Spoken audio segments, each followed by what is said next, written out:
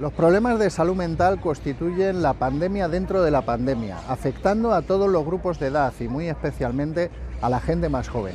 Por eso es necesario que todas las administraciones arrimen el hombro y se impliquen. En Más Madrid hemos presentado un plan de atención infanto-juvenil en la Asamblea de Madrid.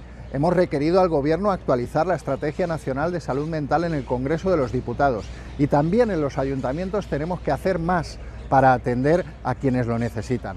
Por eso vamos a elevar al Pleno de septiembre una propuesta invitando al Gobierno Municipal a suscribir convenios con el Colegio Oficial de Psicología de Madrid que permitan ensanchar la atención gratuita a los colectivos de especial vulnerabilidad y atender también a aquellos colectivos como Protección Civil, Policía Nacional, Policía Municipal, trabajadores de residencias y de servicios sociales que más han estado en la primera línea durante toda la pandemia. La salud mental de nuestra sociedad es una tarea que nos convoca a todas y a todos.